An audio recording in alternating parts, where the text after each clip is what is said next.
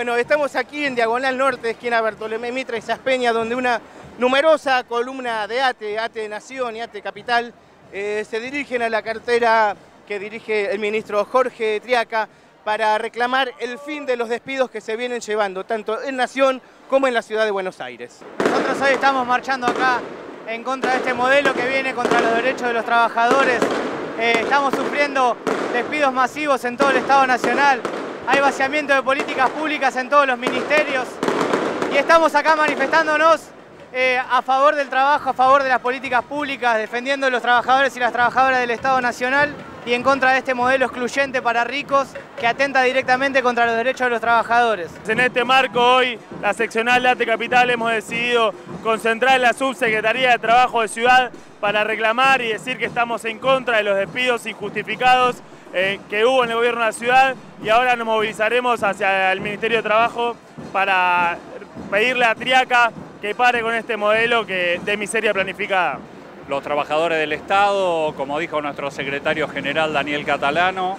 le vamos a transformar cada ministerio y cada repartición en una trinchera. No vamos a permitir que este ajuste salvaje que está haciendo el gobierno de Macri y el gobierno de la Reta lo paguemos los trabajadores. Y hasta el momento hay más de 5.000 despidos,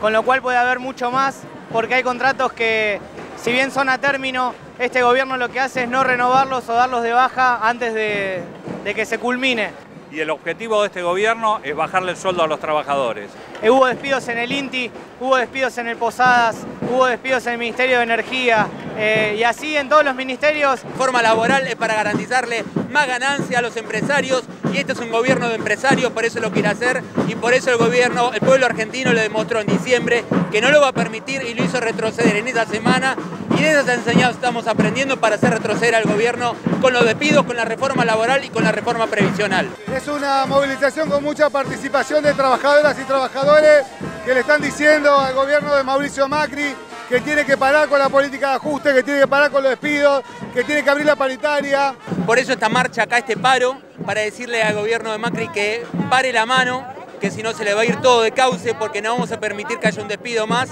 y vamos a reincorporar a todos los compañeros. La verdad que nosotros eh, estamos muy preocupados porque trabajamos en todas las áreas sensibles del gobierno, hay un recorte muy grande, así que estamos yendo con esta contundencia para decirle a Mauricio Macri que tiene que parar, que tiene que cambiar el modelo económico. Bueno, desde sectores estatales estamos siendo agredidos por el gobierno nacional con despidos, cierre de plantas, como se ha dado en las fábricas militares de Azul, en la fábrica militar de Santa Fe, la Fray Luis Beltrán, y acá en particular en el conflicto donde eh, se, ha trabado y la pelea se puede ganar, este,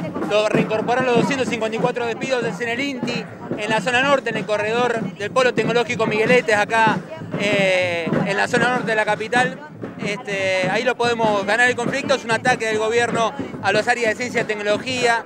eh, un desguace como viene haciendo con los recortes presupuestarios del orden del 40%. Lo que están haciendo es ocultar eh, en un índice de inflación absolutamente mentiroso, donde en realidad los trabajadores nos damos cuenta de lo difícil que se hace en nuestra vida cuando vamos al supermercado, cuando tomamos un colectivo, cuando tomamos un subte. No queremos más ajuste, no podemos más. Y con la expectativa de que el gobierno abra los oídos, que escuche.